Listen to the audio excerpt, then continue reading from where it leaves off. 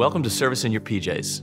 You know, the holidays came and they went, man, it, it was a blur. So we just thought at Manna Church, how can we end the year just a little bit differently? So we hope that you're taking this time to rest and just relax. And, you know, the end of the year is nearly here and a new one's about to dawn. And I don't know about you, but as a year ends and a new one begins, I like to stop and consider what happened last year.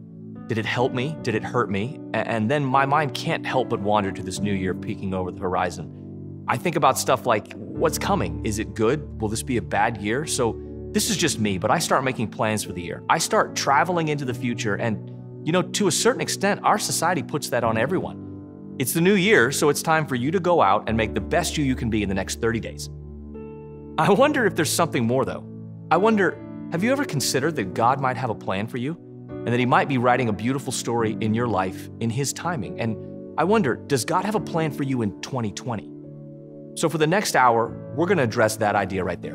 We're going to hear from some of the teachers on our teaching team. We're going to hear from the amazing Manna Worship. And we're going to answer the question Does God have a plan for me?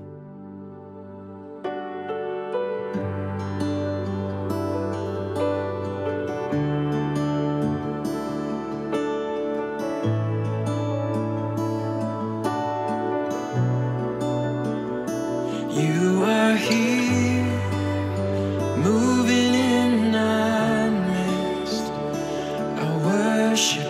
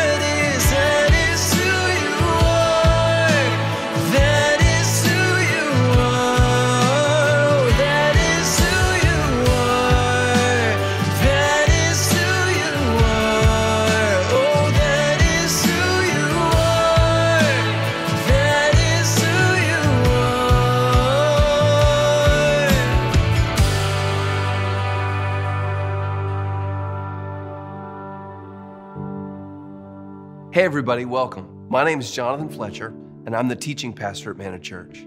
It is really my privilege to get to speak with you today. The title for our message is God Has a Plan. So, we're going to talk about plans. Now, speaking of plans, I heard a story about two friends who were making a plan to go fishing. And right before they confirmed everything, one said to the other, You know, I should probably call my wife make sure this is cool. And so he steps out of the room, he calls his wife, he comes back in and said, Good news, she said it's fine. The other guy goes, Fine? Exactly what did she say and how did she say it? The first guy said, She said, That's fine. Second guy said, I think we better take a rain check. Which is funny. I think it's funny. It's a bad joke. I know it's a bad joke, but God's plan for us is anything but a joke. Over the course of this service, members of our teaching team will join me in sharing with you four ideas about God's plan, P L A N, for your life. God created you for a purpose, God created you for love, God created you to live with accountability, and God's plan for you starts now. I want to talk about God creating you for a purpose. At Manna, we love this statement You are perfectly made by a perfect God for a precise purpose. All through the Bible, we can see this three part reality God is good, God made you just the way He wanted to, and He has a plan or a purpose for your life. God's goodness is one of the major themes in Scripture. In so many places and in so many ways, it echoes. I love how clearly we can see that when we read in Psalm 107, verse 1. Here, David says, Give thanks to the Lord. Why? For he is good. His love endures forever. God is good, and he always and only does what is right. In a world that's often afflicted by ills, with people who all have our own foibles and shortcomings, mistakes that we've made, we can all rest in the reality that God is good. He's perfect. His goodness, His love, His perfection, His grace, His mercy, they all last forever. God is the constant in a world of change. Do you ever feel like the world can be shifting around you? I know sometimes I do. Do you ever second guess yourself? What you know, what you feel like you're certain of? I love that we can settle forever, that God will never change. He has and always will be good. King David talked about God making us in the Psalms when he wrote in really one of my favorite passages in all of Scripture, Psalm 139. It's a fantastic uh, portion, but I just want to look at two verses, verses 13 and verse 14. Here he said, For you formed my inward parts, you knitted me together in my mother's womb. That was verse 13. And here's what he's saying You're not an accident. You aren't a random mix of atoms and cells. You are a handcrafted work of the creator of the universe. He goes on in four, verse 14 I praise you, for I am fearfully and wonderfully made. Wonderful are your works, and my soul knows it very well. Here's what that means God made you exactly how He wants you. You aren't a fit for every destiny, but you are a fit for yours. And He put you together with all of your gifts and all your talents, your abilities, your experiences. Even with your bumps in the road, God made you and He's shaping you for your unique purpose. Despite your own view of yourself, when God looks at you, He says, You are exactly what I was going for. I made you just right. I love that David includes those last couple of lines in the verses. Wonderful are your works. My soul knows it really well. And God's work in this case was David. And here David is saying, You did a great job, God. Sometimes when I read that, I feel like, eh, seems a little bit arrogant. But really, I think it's powerful. Sure, you and I make decisions that bring some pain in our lives. And sometimes, from no fault of our own, we experience the most difficult of times. But David's powerful point is that God made you just right for your journey.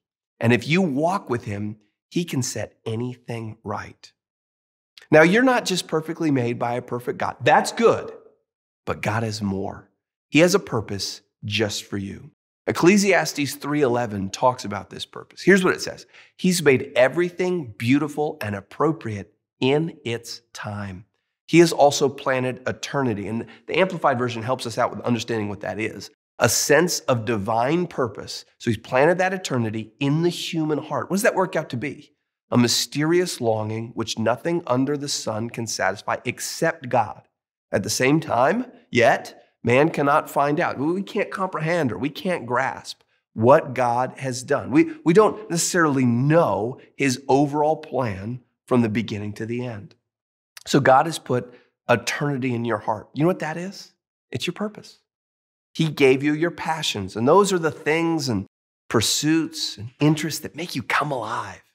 And He gave you your causes. Those are the wrongs that you know you were made to help set right. Those can be the issues that you advocate for. And He placed in your heart dreams, even the seemingly impossible ones, sometimes the ones that you're afraid to tell anybody else. You have a purpose, you have a calling, you have a reason to live that's far beyond yourself. It's a part of the plan of God in the entire world, and you're a living part of His masterpiece. We can't always see God's plan or understand how it all comes together, but God is at work bringing us into our purpose. The question is, are we going to walk with Him? Proverbs 3 5 and 6 says this Trust in the Lord with all your heart and lean not on your own understanding. In all your ways, submit to Him and He will make your paths straight. So, how do we walk when we aren't sure exactly what God's purpose is, or even sometimes what our next step should be? We trust in God. We let Him take the lead. We follow where He leads us. That means God's word and God's ways get to determine my life, even when it doesn't make sense. When I trust God, even over what makes sense to me in the natural, He'll lead me in the right paths. He'll walk with me as I journey into my purpose. I'm really excited about you and about the plan that God has for you. And I know that His plan is good. In fact, He says as much in several verses throughout the whole Bible. I know that all of us are going to experience trials and we're going to walk through tribulations, but through it all, God has a purpose for you. Now, the first step in knowing God's purpose is to know God Himself. And that starts with His love. And you'll hear about God's love in just a little while.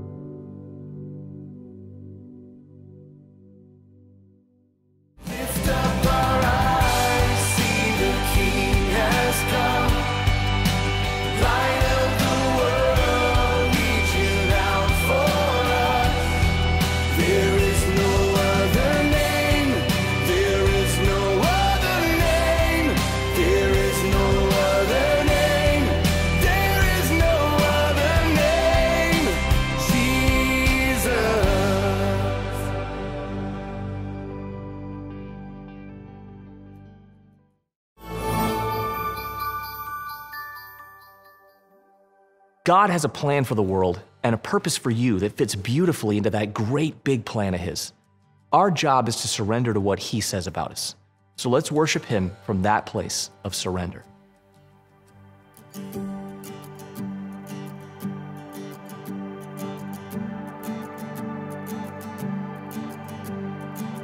Who am I that the highest king would welcome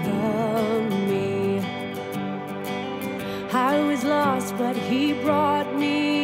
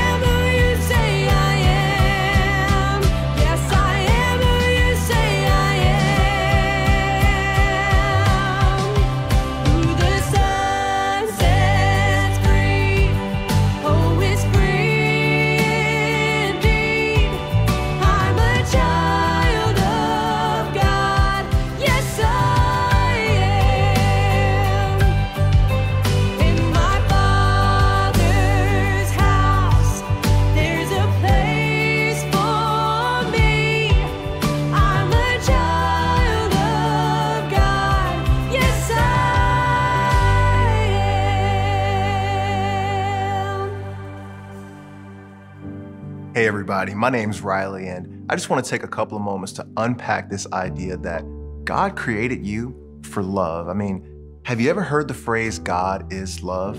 That phrase is actually in the Bible, and it reveals so much about who God is. I mean, God doesn't have love and God doesn't do love, but God is love. And I'm not saying all love is God or that love is some deity that we worship. I'm saying it's an attribute of who God is. God is love and He created you for love. And God created you for love in two ways. The first way is to be loved by Him. God created you to be loved by Him. In fact, Scripture says God so loved. And I just love that phrase because it, it just expands our idea of love. Have you ever seen a dad or a mom with a bad case of the so loves? I mean, just so in love with their child. I can think back to my life and remember my pee wee basketball games and how my mom would go as far as making signs and custom t shirts with my name and jersey number on the back. And she didn't need to do all that. I mean, I was only six years old and I think we had about nine games that season.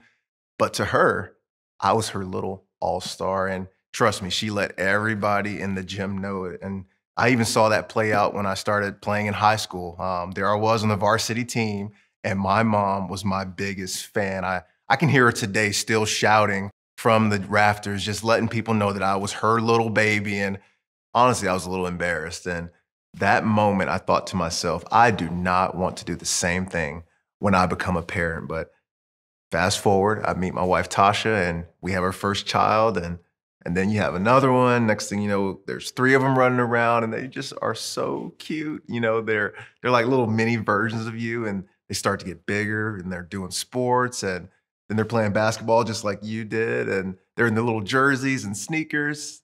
Next, I watched my son actually score his first basket, and yeah, it was in practice, but I found myself uncontrollably shouting from the bleachers like he could have just hit a buzzer beater to win Game Seven of the NBA Finals. I mean, I, I don't know. I, I just couldn't control myself. I was being a dad. My behavior was illogical. It didn't make sense. I was just like my mom, so in love with my child. And, and that phrase is exactly how God describes his love for you. And in John chapter 3, verse 16, it says, God so loved the world that he gave his one and only son, Jesus, that whoever believes in him should not perish, but will have eternal life. And honestly, you could sum the whole Bible up in that one sentence. And the sentence starts with God. It starts with God as a subject because He's first, He's foremost, He's the initiator. And God loved us first. And what He does, He puts that love in action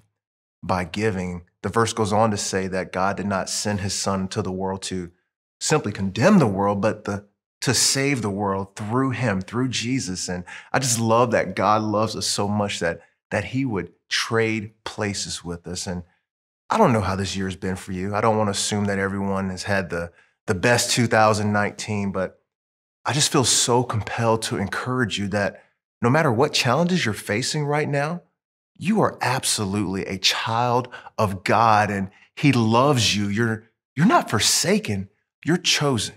God's not against you. God is for you, even when you were cut off, eternally separated from God because of sin. And sin simply is when we fail to do the things that we should or make some mistakes and do some things that we shouldn't. And when we were in that place, God sent his son, Jesus, to save us. In fact, Paul, in his letter to the Roman church, he says this God demonstrates his love for us in this that while we were sinners, Christ died for us. Jesus loved us on our worst day. Let me, let me say it like this when you were at your worst, God gave his best. He died, he paid the ultimate sacrifice. Why? To save you, to save me from our sins and to make us right with God. The debt, the debt's been paid. The righteousness has been earned, and it's not by us. Jesus, he did it all on that cross. And, and what he offers to us is a free gift. You can't earn it. You don't deserve it. I mean, I, I guess that's why we call it amazing grace and, and not common sense. But not only did God create you to be loved by him, God created you to love others. You know, when you're when you're full of love from that vertical relationship with Him, you can't help but show that love in your horizontal relationships with others. It's, it's an overflow of grace. His love leads us to be other centered instead of simply self centered. You know, when I think about my life, my family, friends, coworkers, and, and many people that God has kind of brought into my sphere of influence, I'm, I'm reminded that sometimes people are just really hard to love. And, well, at least in my own strength, but thankfully, we are fueled by God's grace. You know, through Jesus, I can actually be the son that I need to be. We can be the sons, the daughters, the husbands, wives, fathers, mothers, friends, bosses, employees. We can be the people that we need to be to serve other people. And Paul reminds us, as he's giving guidance to the local church, that the key to living in community, the most spiritual thing we can do, is to love each other. In 1 Corinthians uh, chapter 13, starting in the first verse, he, he shares this with us. He says, If I speak human or angelic tongues, but do not have love, I'm a sounding gong or a clanging cymbal. If, if I have a gift of prophecy and understand all mysteries and all knowledge, and if I have all faith, so that I can even move mountains, but do not have love, I am nothing. And if I donate all my goods to feed the poor, and if I give my body in order to boast, but do not have love, I gain nothing. Why? Because love is patient, love is kind, love does not envy. It is not boastful, it is not conceited, does not act improperly, is not selfish, is not provoked, and it does not keep record of wrongs. Love finds no joy in unrighteousness, but rejoices in the truth. It bears all things believes all things, hopes all things, and endures all things. Jumping down to verse 13, now these three remain faith, hope, and love. But the greatest of these is love. This makes me think about John, a disciple of Jesus. He grabbed this concept of love and records Jesus saying these words It's a new command that I give to you to love one another as I, Jesus, have loved you. In that way, you must love one another by this sign, everyone will know that you're my disciples. And it's, it's not by the number of sermons you preach, the number of books you've read, the miracles you've performed, or even how much money you can make. How will the world know that, that we're his disciples, that we follow Jesus? If you love one another. God created us to love Him, and it's from that love that we receive that we live our lives loving and serving others. And now, this next song speaks perfectly to that theme. I want you to open your heart and I want you to see what you might be hearing from God.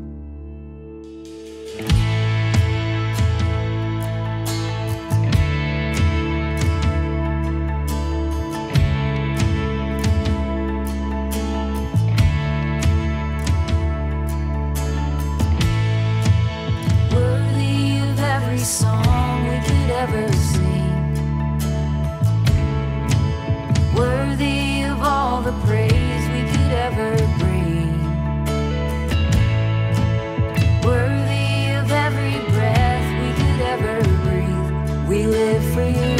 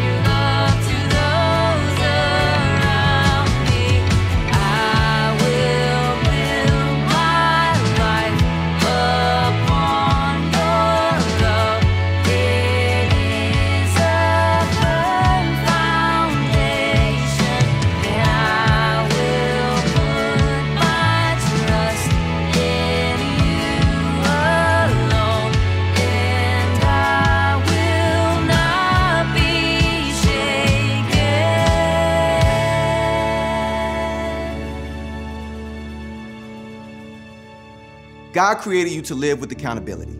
It's part of his plan for your life. This reminds me of a young man who had recently lost his job, but he applied for a new job at a different company, and to his surprise, they asked him to come in the next day for an interview. He arrived early, and after waiting in the lobby for about 30 minutes, they called him back to the boss's office to begin the interview process. The employer says to the young man, On this job, we need someone who is responsible. The young man replies to the employer with confidence, Well, I'm your guy. Because on my last job, every time anything went wrong, they said I was responsible. I'm not sure that's what he meant, but listen to this. To be responsible means to be answerable for something within one's power or control. Notice the two aspects in this definition the ability to control plus the ability to answer for something. To be accountable means to be subject to giving an account or having the obligation to report, explain, or justify something. There is no aspect of control in this definition, but there is an expectation. For many folks, when they hear the word accountability, they immediately get uncomfortable. This idea of being open and honest and transparent about every area of your life and putting yourself in a position of complete vulnerability to another individual can be a pretty big pill to swallow. Now, it's one thing to have some mess going on in your life, but it's another thing to have someone check you and call you out on the mess in your life.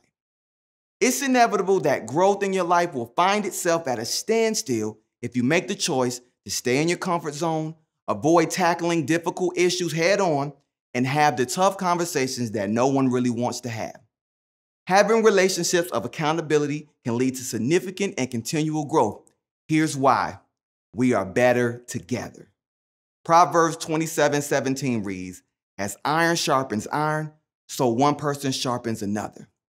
Having an accountability relationship, whether it be with one other believer or it be with many other believers, should allow the individuals to prompt each other to passionately pursue God through questioning, challenging, advising, confessing, and even encouraging. The purpose of this relationship to be to help each other grow spiritually, but also grow closer to God. His word tells us that when we remain in him, meaning stay in him, rest in him, he will remain in us and will bear much fruit. Now, I know we all want to see fruit in our lives, right? When you're growing closer to God, I truly believe that the fruitfulness and growth will extend to more than just one area of your life. You will approach your, your marriage and, and your relationships differently. How you parent your children, how you manage your finances, your generosity, what's important to you, what you prioritize, the things and people that you decide to give your time and attention to. In so many instances, when we think of accountability, we think only of the negative. For many believers, we see this as sharing our sins with others. While this is part of accountability, there is more to it. Accountability should also incorporate not only the confession of sins and failures, but also the sharing of burdens, testimonies of God's work in our lives, and even prayer.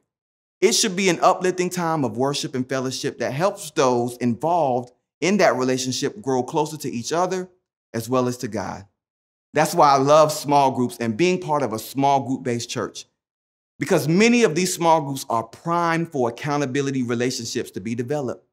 Most small groups create an intentional environment where people can grow together, do life together, share life's trials and triumphs, and potentially speak into each other's lives. Proverbs 13 20 says, Whoever walks with the wise becomes wise but the companions of fools suffer harm. That's why it's key to consider the people who we have around us. There's a popular quote that says, Show me your friends, and I'll show you your future. Man, I love that. There's so much power and truth in that one statement. A few weeks ago, I had the opportunity to connect with one of the young male leaders at our church. He's a young man who has a lot going for himself, stepping into leadership roles, and I believe has a lot of potential. But it's just that at the moment potential. And we all know that potential doesn't pay the bills. We all know that potential doesn't make things happen. And we also know that potential does not create success. So I wanted to see what this young man's hangup was. One of the things I brought to his attention was for him to assess the company that he kept. Not that his friends were bad people or didn't need to be around him, but many of them didn't have what my mom would say, those from the old school, they didn't have that get up and go about themselves. And he quickly realized that his friends weren't ones who were pushing him towards bettering himself. They weren't ones who were asking the tough questions. They weren't even asking about his future or encouraging him to pursue his dreams. They were friends who were trying to figure out some things going on in their own life, let alone be concerned about those things in his life. If you remember, the last part of that verse said, But the companion of fools will suffer harm. Now, maybe not physical harm, but possibly harm to your self esteem, how you view yourself, the lens that you see yourself in. You don't see yourself the same way that God sees you. Maybe it's harm to your, your confidence. Maybe you've tried something, you've attempted something that you feel is beyond yourself, and you weren't as successful at it as you thought you may have would like to be, and and and you fall short a bit, and so you're a bit discouraged, but you don't have the right people around you to to help encourage you to to, to step back into it, to, to give it another try, to have another at bat. And so you just quit in and, and give up. Or maybe it's harm to your emotional or your mental state. I've seen this in so many cases where, where people get discouraged and they begin to isolate themselves and maybe you slip into a season of, of depression and, and cut themselves off from relationships with other people. And that's why accountability is so important. Accountability helps you grow. Accountability helps you get free. Accountability helps you heal. Accountability helps rid the things that aren't meant for you to carry, and it positions you to walk in all that God has planned for your life. We want to be devoted to the will that God has for our lives because devotion to Christ is where the human heart is most satisfied. If you're not involved in a small group, we believe that's where life change happens. At Manna Church in the Fayetteville Fort Bragg region, we're going to have our small group Sunday, January the 26th. And I want to encourage you to try that out. You can also check our website out, www.manna.church, and get involved in the growth track today. It's a series of small groups that helps you take your next steps in finding out why God put you on the planet. You can also check out our locations, our service times. You can even give online from there as well.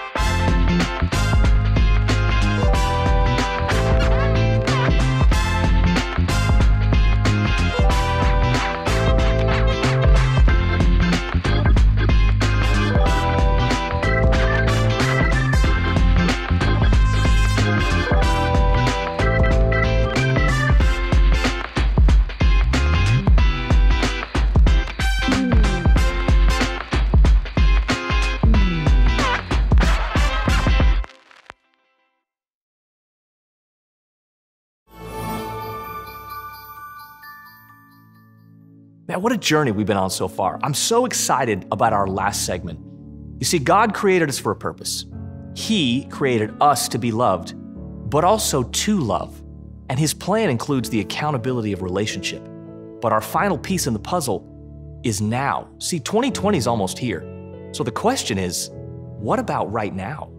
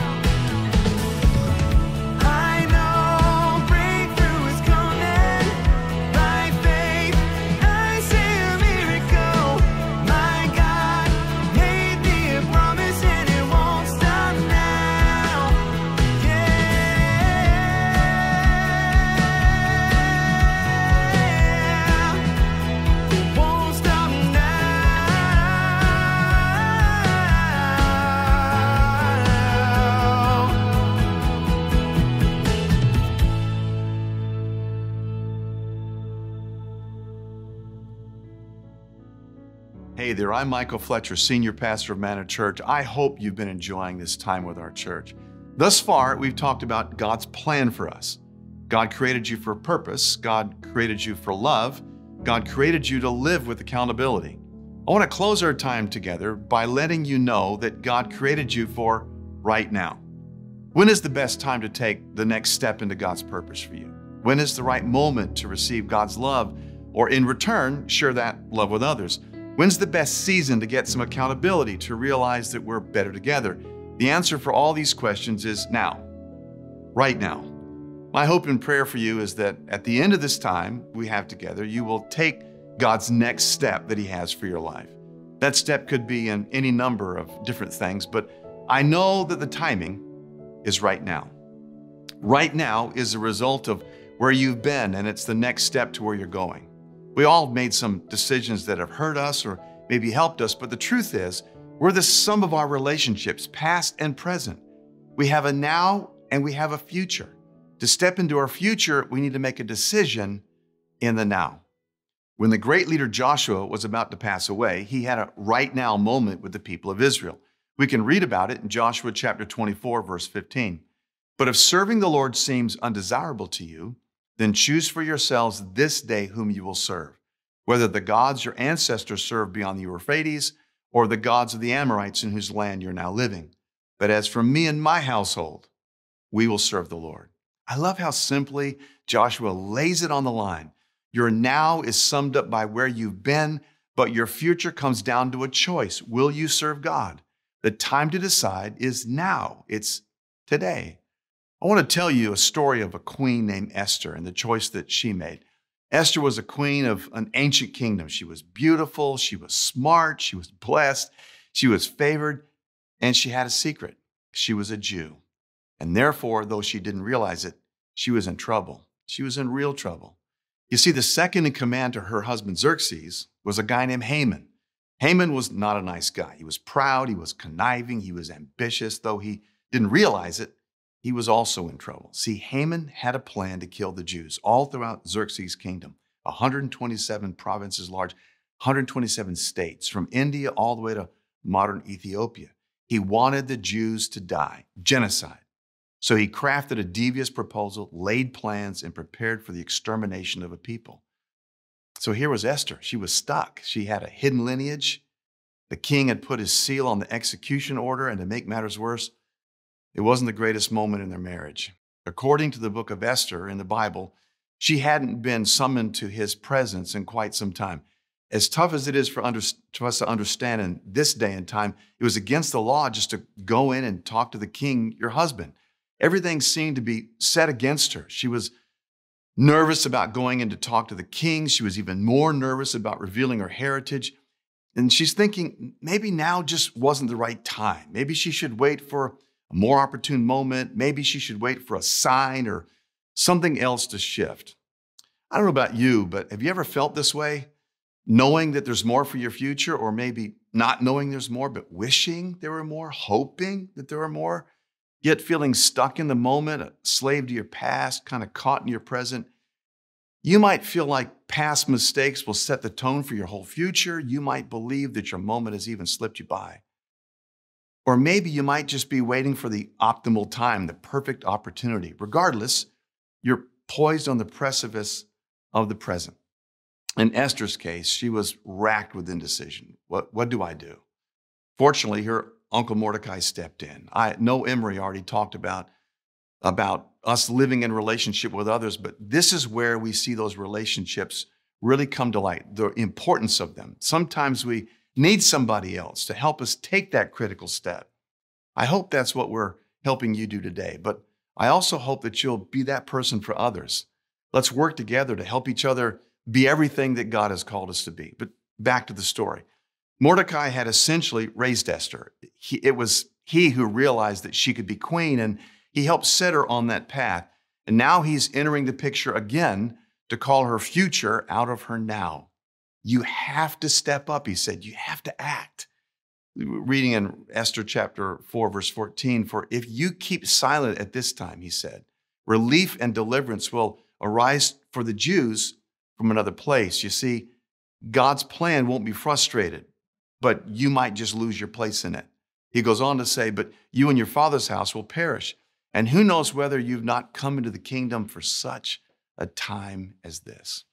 Esther listened. She was nervous, but she responded. She fasted and prayed.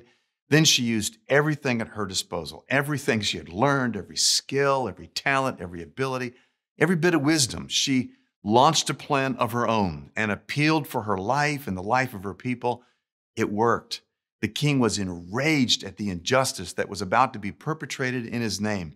He sentenced Haman to death, overturned the edict, and endorsed the Jews taking up arms against their enemies. It was a complete victory for Esther.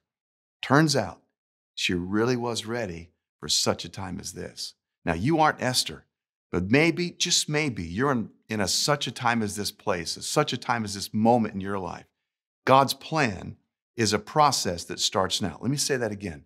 God's plan is a process that starts now. I've read the book, the very end of the book, the Bible, and I got good news. God wins. His ways always work. His promises, his purposes will always be accomplished. I love that promise in Jeremiah 29, beginning in verse 11, that says, For I know the plans I have for you, declares the Lord plans to prosper you and not to harm you, plans to give you a future and a hope. Then you'll call on me and come to me and pray to me and I'll listen to you, and you'll seek me, and you'll find me when you search for me, when you seek me with all your heart. See, you're a part of God's plan, and your moment is now. So seek God and follow Him in every area of your life. There are a number of ways that you can put this message into practice, this service into practice today. And I know it starts now. But maybe you need to believe that God has a plan for your life. Maybe you need to trust in God and take some steps toward your purpose. Maybe you need to build some accountability in your life. Find a small group, find a band of brothers or a band of sisters who will help you as you follow Jesus. Maybe you need to demonstrate the love of Jesus to a family member, a coworker, or a friend. Perhaps you just need to have the courage to take the next step. I encourage you. There's no day like today, no moment like this one but I want to take just a moment and linger here, just in case you're watching and you realize that what you really need is a relationship with God. A relationship with God is the starting point for everything we've talked about so far. Your chief purpose is to be a child of God. Your chief end is to be loved by God. Your relationships to truly work, God has to be the center. But we have a problem. We didn't start off in life in a relationship with God. Instead, we started out in sin. Sin is when we do what is wrong, or sin is when we know what to do that's right, but fail to do it. The Bible tells us that all have sinned and come short of the glory of God. And it goes on to say that the wages of sin is death. That's the bad news. We start outside of a relationship with God, and there's nothing we can do on our own to make ourselves right with Him. The good news is what Riley already told us that in the midst of our sin, God sent Jesus to come and pay for that sin. That's the expression of God's love that He has for us, in that while we were yet sinners, Christ died for us. He was willing to pay the death penalty of sin so that you and I could have life, eternal life, so that we could have a relationship with God. So, how do I receive this eternal life, Michael? What do I do? Well, we pray, we repent for our sins, we put our faith, our trust in Jesus Christ as our Lord and Savior. If you're watching this service right now, and you realize that you aren't in relationship with God or you're not sure where you stand with God, this is your moment. And I want you to be sure that Jesus Christ is your Lord and Savior. So I'm going to lead you in a prayer. We're going to pray right now. If that's you, I want you to pray after me. Not just you, but all those in the room watching with you. Maybe this is your moment. Maybe this is your time for us all to join together and pray this prayer out loud. You ready? Say, Jesus, thank you for dying on that cross in my place. Come into my life and forgive me. I confess I've sinned against you. Please cleanse me, wash me from the weight and the guilt of my sin. From this moment forward, I'm going to follow you forever. In Jesus' name, amen. Thanks so much for praying that prayer and giving us the opportunity to share a little bit about God's plan for your life. God bless you. If you pray that prayer for the first time, email us at contact at manna.church and let us help you take some first steps along your journey. We'd love for you to join us at one of our physical locations all across the Fayetteville Fort Bragg region, either on Thursday night or on a Sunday morning. You can find a location and service times near you at manna.church. Until next time, this has been Service in Your Pajamas. Happy New Year.